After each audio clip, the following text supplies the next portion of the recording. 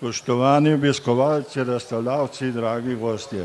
Lep pozdrav vsem na 21. senskem sejmu Komendi. Posebej pozdravljam direktorico doktorata za kmetijstvo gospod Tadejo Kvasmajer, župana občine Komenda gospoda Stanislava Poglajna, predsednika Kmetijsko-gozdarske zbornice Slovenije Cvetka Župančiča, direktorja Zadružne zveze Slovenije gospoda Bogdana Štepeca, direktorja Zavoda za gozdove Slovenije gospoda Damija Vražma in vodja oddelka Zavoda za gozdove Slovenije gospoda Jurija Beguša, direktorja Kmetijsko-gozdarskega zavoda Ljubljana gospoda Jožda Beneca, načelnika uprave enote Kamnik gospoda Mihela Novaka, častnega člana Konjiškega kluba Komena gospoda Tomaža Drojca, predsednika Kasaške zveze Slovenije doktorja Ikstoka Puriča in predsednika Konjiškega kluba Grosuplje gospoda Lojza Potočnika, župana občine Cerklje gospoda Franca Čebulja, župana občine Vodice gospoda Aca Šuštarja predsednika skupščine mesta Srenske Mitrovica, gospoda Tomislava Jankoviča in šest, in šest člansko gospodarsko turistično delegacije Srenske Mitrovice z vodjo predsednikom Đorđem Božičem. Direktorja Belavarskega sejma gospoda Davorina Posavaca in gospoda Andreja, Andreja Slogoviča iz Pomurskega sejma Gonara Argona. Od župana občine Komenda gospoda Igora Štebeta, svetnike in člane občinske uprave občine Komenda in direktorico magistrico gospod Majdo Ravnikar. Direktorja poslovne cone Komenda gospoda Matica Romšaka, da je direktorja seminarne Ljubljana Leša Šambederja, direktorja kmečkega glasa gospoda Petra Zadela,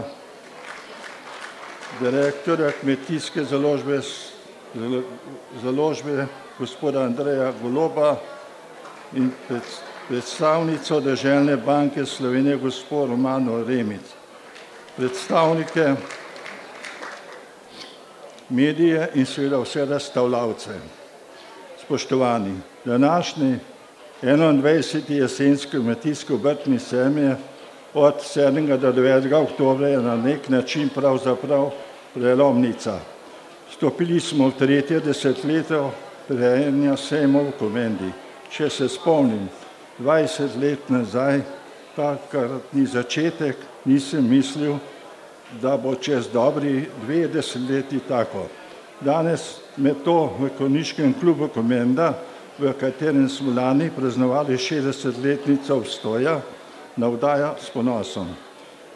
Po začetkih postovolnih gradnah hipodroma, steze, hlevov, tribune, novih hlevov, tombol v Komendi tudi velik sem, ki bi ga bila najbrž vesela še marsikatera med 212 občinami v Sloveniji.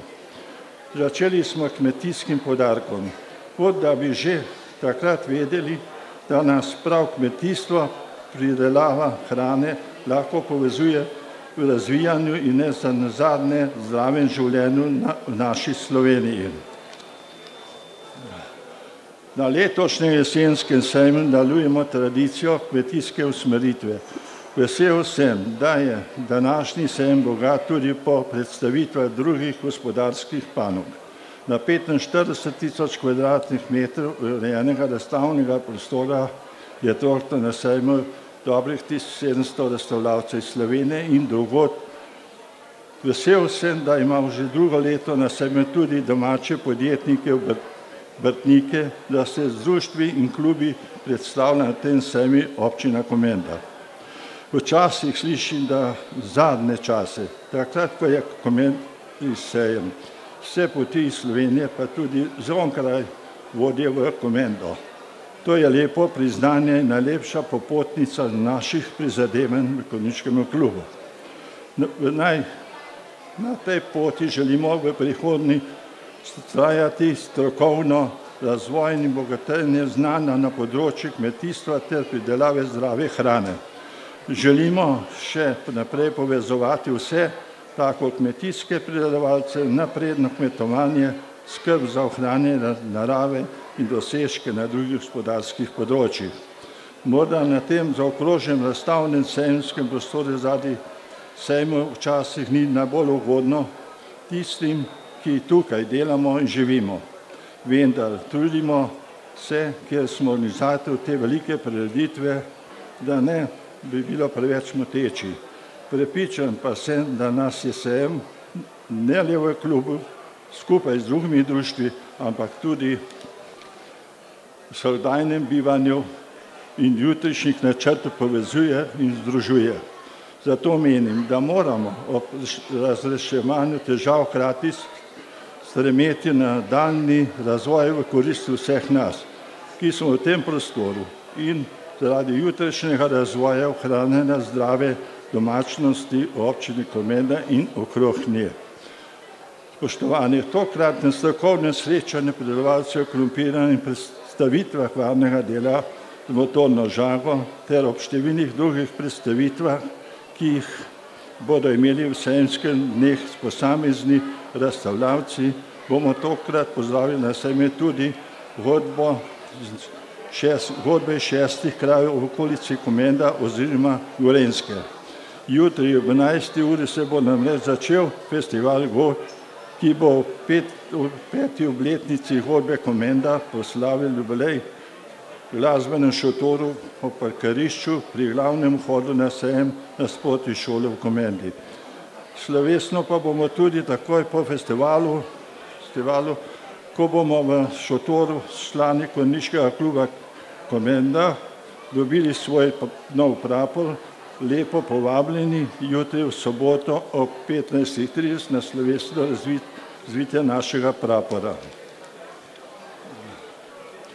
Pravimo, da se za zdravim in uspeš, uspešnim konjem praši. In ta prah Torniškega kluba Komenda je tudi simbol predstavljanja zdrave prehrane in dobrega gospodarstva te družbenih dejavnosti v Komendi naj bo tako še naprej. Zato vsem razstavljavcem želim dobro počutje, poslovne zadovoljstvo, zadovoljstvo na sejmu. Obiskovalcem pa tokrat še naprej prijazno občino Komenda, da bomo vanjo v sejemski in tudi po drugih priložnostih vodile vse poti v komendo. Hvala.